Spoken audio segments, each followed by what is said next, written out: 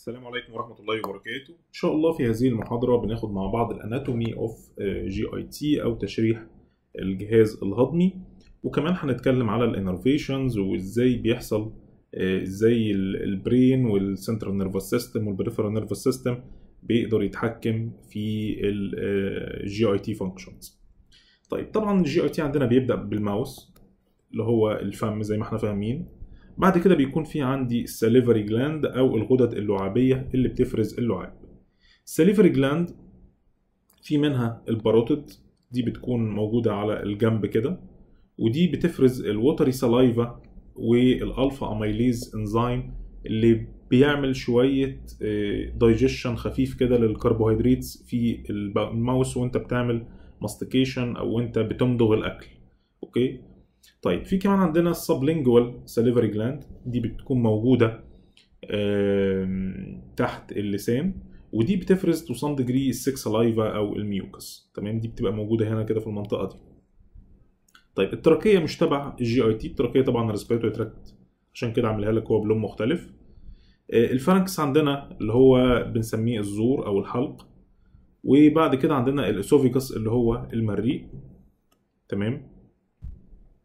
ونوصل بعد كده لل stomach المعدة.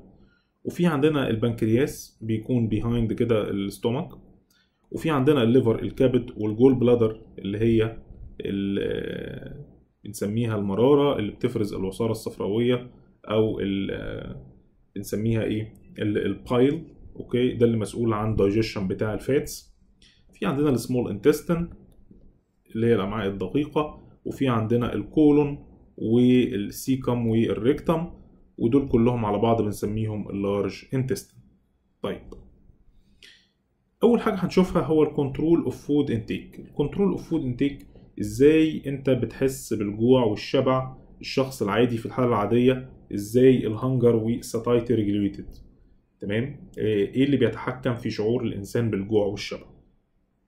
في عندي أربع عوامل بتتحكم في شعور الإنسان بالجوع والشبع. أول حاجة ال plasma glucose level.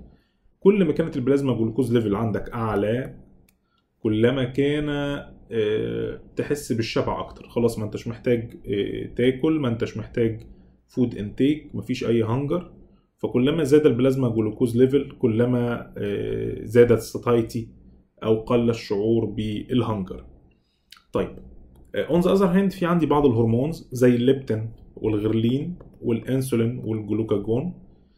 الهرمونز دي الانتربلاي ما بينها أو في مشاركة ما بينها بتلعب دور كبير جدا في ال satiety وال hunger في كمان عندنا stretch receptors في ال GIT okay؟ ال stretch receptors في ال GIT دي بتبقى mechanical شوية عشان كده هتسمع كلمة mechanical okay؟ كل ما يحصل stretching كل ما ال satiety بتقل. طيب. وفي كمان عندنا stress و body temperature و food palatability يعني كل ما كان الأكل أجمل كل ما كان ال body temperature أعلى كل ما كان في stress ممكن ده يأثر على. الرغبة في الأكل. يعني مثلا في حد لما ي feel stress يقول لك أنا خلاص مش جعان مش مش جاي لي نفس آكل. تمام؟ ماليش نفس آكل مع ال stress طبعا عند ناس تانية بتختلف. في ناس مع ال stress ومع ال... كده يقول لك أنا عايز آكل أكتر. تمام؟ طيب يبقى اذا هنا الإنتربلاي ما بين الهرمونال والنيورونال والميكانيكال سيجنالز هو اللي بيلعب أو بيعمل control لل food intake وبيأثر على ال hunger وال satiety طيب ده شكل عندنا آه، في الحالة ال well fed أو ال post absorptive state اللي هو حد واكل كويس بعد ما كل الوجبة إيه اللي حصل؟ ال food عنده أو ال- ال glucose level زاد. لما ال glucose level يزيد يقل الشعور بالجوع. مين الجسم بيعمل إيه in response to زيادة الجلوكوز؟ بيقوم جاي عامل insulin secretion يبتدي الجسم يفرز انسولين طيب إفراز الإنسولين لازم تكون عارف كويس قوي إن الإنسولين ده بنسميه anabolic hormone أو هرمون بنائي. فالإنسولين مسؤول عن إن هو يعمل storage of energy يخزن الطاقة. okay؟ يزود ال storage of fuels يزود ال protein synthesis تمام؟ يزود ال glycogen synthesis يخلي الجسم يحتفظ بالطاقة أكتر ويخلي الجسم يستهلك الجلوكوز. يعني الجلوكوز يدخله جوه ال muscles وجوه الخلايا ويخلي الجسم يصنع بروتين ويصنع جلايكوجين عشان يحتفظ بالطاقة. ده ال role بتاع المين بتاع الانسولين. طيب تعال شوف بقى لو في starvation عكس ال عكس ال well fed إحنا خدنا دلوقتي ال well fed state اللي هو حد واكل كويس. عكسها بقى واحد fasting أو starvation يعني واحد صايم أو واحد جعان لفترة طويلة. okay هنشوف الجوع ده ممكن يعمل إيه. لما بيزيد الجوع لفترة طويلة بيبتدي يقل الجلوكوز. ولما يقل الجلوكوز يبتدي الإنسان زي ما اتفقنا هيبتدي يحس بالجوع. طيب إيه اللي بيحصل بقى؟ بيبتدي يزيد ال glucagon. وال glucagon عكس الإنسولين. يعني الإنسولين عندي هنا كان بيعمل storage هو anabolic hormone لا لما يقل الجلوكوز بيبتدي يحصل catabolism. بيزيد الجلوكون الجلوكاجون ويبتدي يكسر الحاجات اللي إحنا خزناها. الحاجات الجلايكوجين اللي إحنا خزناه يبتدي يحصل له breakdown تمام؟ يبتدي يحصل عندي لاي... lipolysis وال fat تتحلل. تمام؟ يبتدي الجسم عايز يصنع جلوكوز لأنه ما عندوش جلوكوز فيبتدي يزود ال gluconeogenesis اللي هو تصنيع الجلوكوز من ال amino acids يعني يكسر البروتين ويحولها ل amino acids وياخد ال amino acids عشان يصنع منها جلوكوز لأنه ما عندوش جلوكوز. فهنا بنسمي كل ده catabolic state أو catabolism.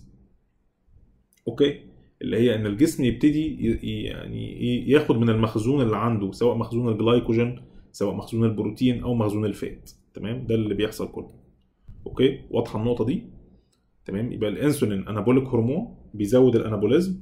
بيزود تصنيع الجلايكوجين بيزود تصنيع البروتين تمام؟ آه بيخلي فيه احتفاظ بال fats okay؟ والعكس بقى لما يقل الجلوكوز ويزيد الجلوكاجون الجلوكاجون اللي هو عكس مين؟ عكس الانسولين يبتدي يزيد ال breakdown بقى لكل ال storage forms اللي موجودة في الجسم. طيب تعال نشوف في حالة الجوع. في حالة الجوع إيه اللي بيحصل؟ بيبقى عندي جلوكوز قليل وال fat والبروتين وبيزيد عندي الهرمون اللي اسمه الغرلين هرمون الايه؟ الغرلين. يبتدي يروح يشتغل على مين؟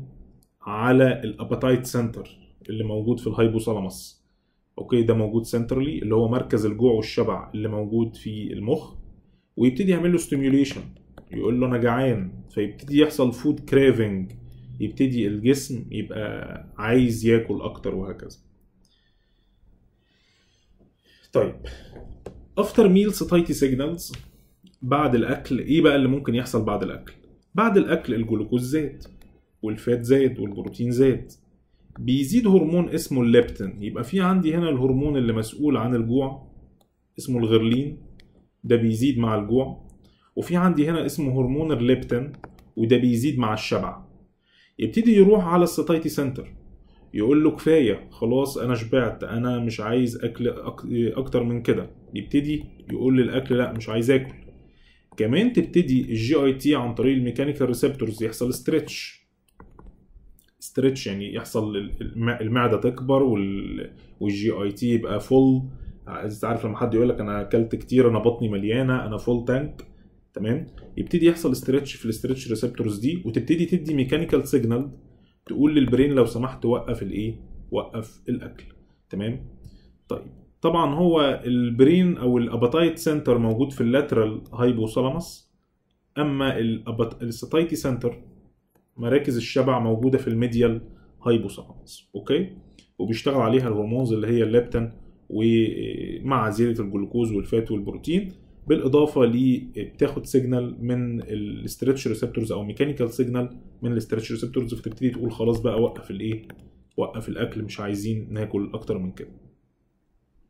طيب إيه تأثير ال meal size تأثير حجم الوجبة على ال gastric emptying في عندنا حاجة اسمها ال gastric emptying أو بيسموه ساعات ال gastric emptying rate okay؟ GER أو gastric emptying rate معدل خروج الأكل أو إيه أنت دلوقتي كلت والأكل بتاعك موجود دلوقتي فين؟ في ال stomach معدل خروج الأكل ده من ال stomach عشان يوصل لل intestine ده بنسميه gastric emptying rate okay؟ طيب هنشوف إيه بقى العوامل اللي بتأثر على ال gastric emptying rate ده.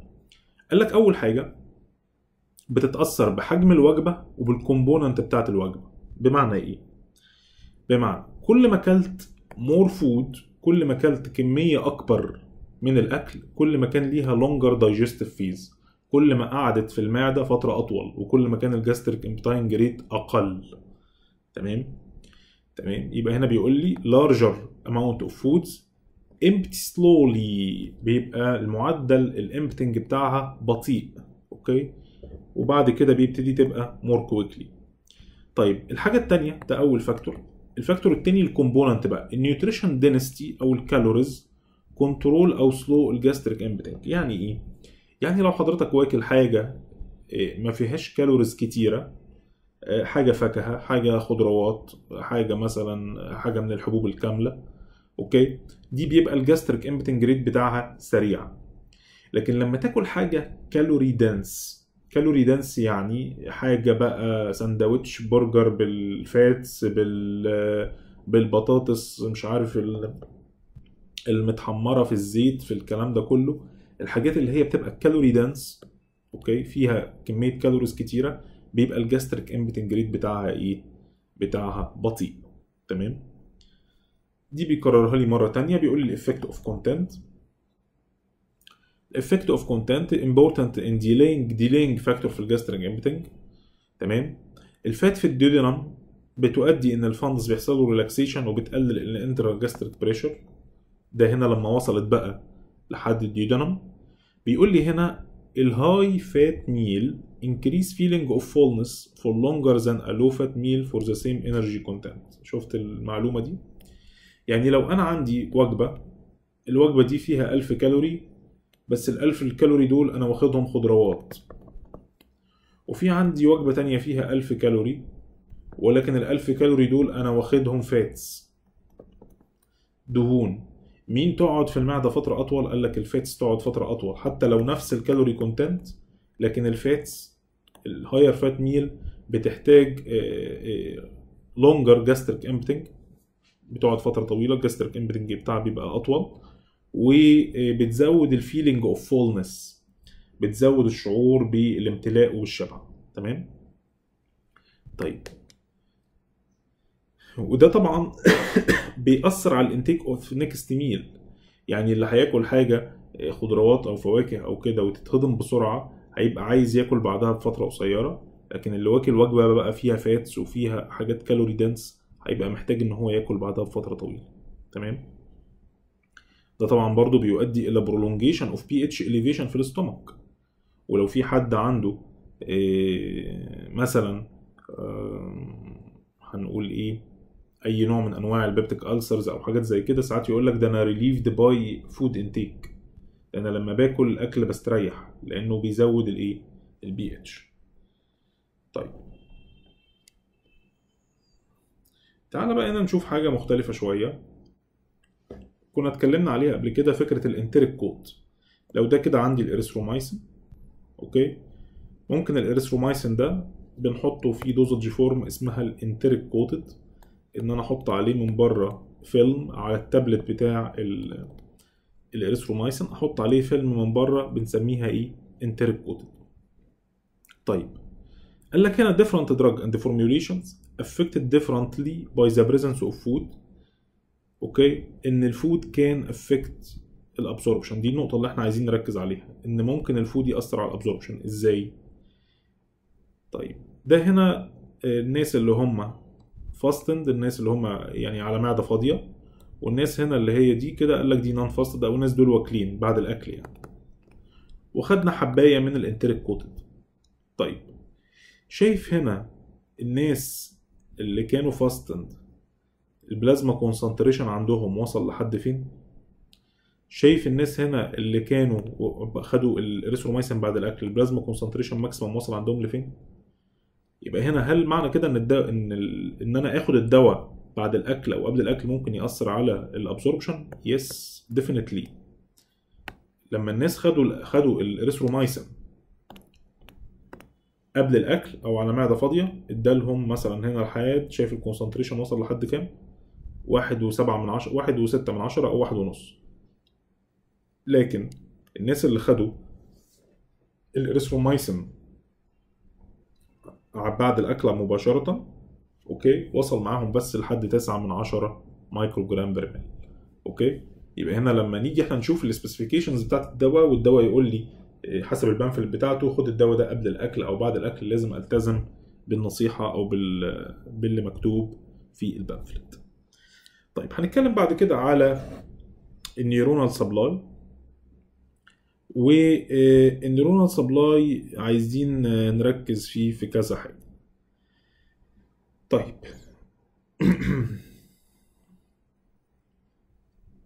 إحنا في عندنا في الجسم السنترال نيرفس سيستم ده يمثله البرين والميدالا اوبلونجاتا والسباينال كورد ده بنسميه ال central nervous system هذا ال central nervous system بيطلع منه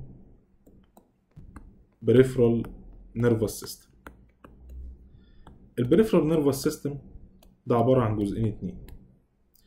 جزء autonomic وجزء somatic الجزء ال autonomic ده جزء مسؤول عن ال functions أو عن الوظائف ال auto يعني إيه ال auto؟ هسألك سؤال. في حد في الدنيا بيتحكم في ضربات قلبه؟ لا. يبقى دي بيتحكم فيها ال autonomic nervous system. هسألك سؤال تاني. هل في حد في الدنيا بيتحكم في ال respiratory rate بتاعه؟ يبقى دي بيتحكم فيها ال autonomic nervous system. هل في حد بيتحكم في ال GIT motility يزودها أو يقللها؟ دي بيتحكم فيها ال autonomic nervous system. تمام؟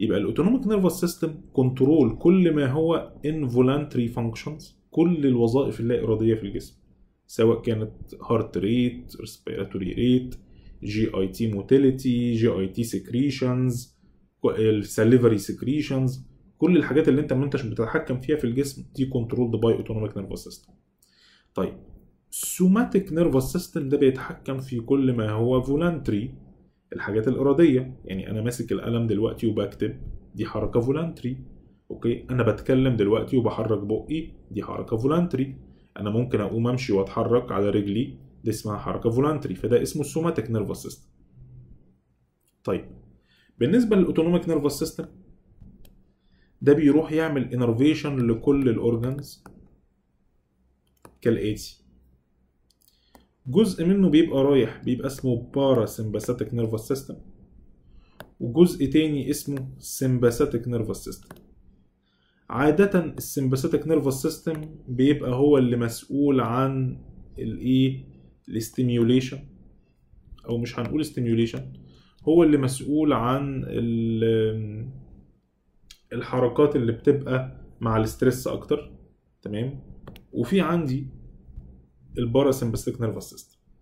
ال sympathetic nervous system بيكون under epinephrine و norepinephrine control ال parasympathetic nervous system بيكون under cholinergic اللي هو ال acetylcholine control تمام؟ المثال اللي إحنا هنتكلم عليه دلوقتي اللي هو ال GIT included بقى ال stomach و included كل الايه كل ال small وال large intestine رايح لهم sympathetic innervation ورايح لهم parasympathetic innervation ال sympathetic innervation عن طريق ال epinephrine وال norepinephrine. وال parasympathetic innervation عن طريق ال acetylcholine. طيب ال acetylcholine ال role بتاعه بيكون excitatory على ال wall وعلى ال sphincter. يعني بيزود حركة الأمعاء وبيزود حركة المعدة وبيزود ال stomach secretion أو ال parietal secretion تمام؟ علشان كده لو عايز إن أنا to block ال acetylcholine لو قفلت ال acetylcholine أو قفلت ال muscarinic response ده هيؤدي لإن أنا أقلل ال acid secretion هقلل ال GIT motility تمام؟ وهقلل ال GIT secretions كلها بشكل عام. تمام؟ طيب تعال نشوف التفاصيل كده.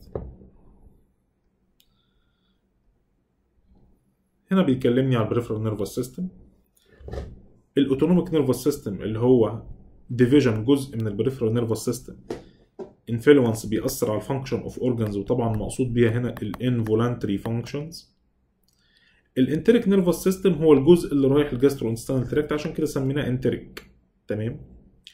طيب. آه نبقى عارفين برضو إن في سيروتونين بيروح مع ال norepinephrine وال epinephrine وال acetylcholine المجموعة الأساسية اللي إحنا اتكلمنا معاها. في سيروتونين اكتشفوه حديثا إن في سيروتونين بيروح كمان لمين؟ لل GIT tract تمام؟ طيب. طبعا السيروتونين لقوا فيه وظائف كتير في الجسم من ضمنها ال depression ومن ضمنها ال platelet functions ومن ضمنها ال GIT. ال afferent وال efferent معناها إيه؟ ال afferent هو اللي رايح من ال sensory organs towards ال CNS طيب. العكس هو ال efferent. اللي جاي من ال central nervous system to ال effector organs يبقى هنقولها تاني. ادي ال CNS وادي عندي ال GIT اللي رايح من ال GIT ال nerve العصب اللي رايح من ال GIT لل CNS بسميه afferent nerve. وال nerve اللي رايح من ال CNS لل GIT بسميه efferent nerve تمام؟ وطبعا ده تمشي على ال GIT وعلى أي organ في الجسم. afferent و efferent طيب. ال enteric nervous system ده قال لك ده بنلاقيه موجود في ال GIT tract من ال esophagus لل anus بنقسمه إلى myenteric. myenteric جاية من muscle my دي معناها muscle بنسميه ال myenteric plexus okay؟ وبيتحكم في ال motor functions وال muscle activity عشان كده سميناه إيه؟ myenteric طيب في عندنا بقى ال submucosal submucosal plexus وده عادة بيكون sensory وبيأثر على ال epithelium وال stretch receptors اللي اتكلمنا عليها و influence ال secretory activity يبقى أنا في عندي حاجة بت influence ال myenteric الجزء ال myenteric من ال enteric nervous system بيتحكم في ال muscle activity في حركة الأمعاء. ما ياخد بالك من الأمعاء دي الأمعاء دي من بره كده عليها muscle عليها smooth muscle عضلة الأمعاء الأمعاء الحركة بتاعت الأمعاء دي بتتم عن طريق muscle okay؟ طيب submucosal activity control مين control ال sensory function طيب الجزء بتاع ال sympathetic nervous system وال parasympathetic nervous system اتكلمنا عليه. تعال نشوف ال extrinsic innervation of ال enteric nervous system طيب ال nerve plexus اللي موجود في ال GIT linked to the CNS via afferent fibers اللي بتؤثر effect على ال stretch وال chemical stimulation دي اتكلمنا عليها مع ال satiety وال appetite. وبعد كده بيجي له efferent innervation من ال autonomic nervous system ال efferent innervation اللي جاي من ال autonomic nervous system بيبقى نوعين اتنين زي ما اتفقنا parasympathetic و sympathetic ال parasympathetic عادة rest and digest اللي هو يهدي اللعب واهضم الأكل بتاعك تمام؟ stimulate ال GIT motility وال secretory functions على عكس ال sympathetic nervous هيبقى وظيفته fight and flight وده بيؤدي إلى inhibition of contraction. دي إحنا اتكلمنا عليها خلاص. تعال نشوف في عندي بعض الأدوية إزاي بتأثر على ال GIT. من ضمن الأدوية المهمة جدا اللي بتأثر على ال GIT هي ال opioids. مشتقات المورفين okay؟ زي المورفين زي الميثادون زي ال hydrocodone okay؟ زي ال nalbuphine. الأدوية دي كلها إزاي بتأثر على ال GIT؟ في عندي ثلاثة receptors subtypes من ال opioid receptors ال mu والكابا والدلتا. ميو وكابا ودلتا. كلهم موجودين في ال brain. كلهم موجودين في ال GIT في ال myenteric وال submucosal plexus. تمام؟ عشان كده هنلاقيهم بس موجودين بكميات مختلفة. يعني مثلا ال mu موجود في ال CNS أكتر وفي ال GIT فبالتالي هتلاقي ليه role في ال analgesia وال sedation. بالإضافة لإن هو ممكن يسبب nausea و vomiting لو أنت خدت opioid agonist ودي حاجة مشهورة قوي. مسكنات بتعمل مسكنات ال opioids بتعمل nausea and vomiting حتى في condition مشهورة اسمها opioid induced nausea and vomiting طيب ال kappa موجود في ال brain فبالتالي مسؤول عن شوية analgesia لكن موجود برضه في ال GIT وبالتالي بيقلل ال GIT transit الدلتا كميته في ال brain مش كبيرة موجود أكتر في ال myenteric plexus في ال GIT وبالتالي بيقلل ال GIT transit time okay؟ ودي هنلعب على ال target ده. ال target بتاع ال opioids ده هنلعب عليه. لما نبقى عايزين حد patient عنده diarrhea وعنده hypermotility وعايزين نقلل الحركة بتاعة الأمعاء عنده هنستخدم حاجة opioid agonist زي اللوبرامايد هنتكلم عليها كمان شوية ويتهيألي عدت علينا قبل كده. ممكن كمان ناخد بالنا من نقطة معينة إن ال patient اللي هيستخدم opioid analgesics for long term ال patient ده ممكن يجي له constipation وفي مشكلة مشهورة جدا اسمها opioid induced constipation إن ال patient يجي له إمساك بعد فترة طويلة من استخدام ال opioid analgesics. طيب ده هنا اللوبرامايد اللي أنا بتكلم عليه. اللوبرامايد ده دواء مشهور جدا في السوق اسمه الإيموديوم.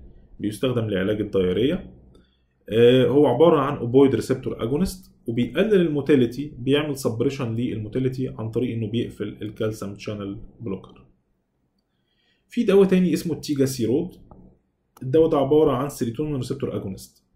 ده بيزود ال motility بيزود ال motility و stimulation عن طريق الاكشن بتاعه على ال serotonin type 4 receptor 5-HT أو serotonin type 4 receptors الدواء ده اتسحب من السوق استخدموه فترة واتسحب من السوق عشان ال cardiovascular side effect بتاعته ولكنه still available وبيستخدم في بعض ال emergency situation وال life threatening situation تمام؟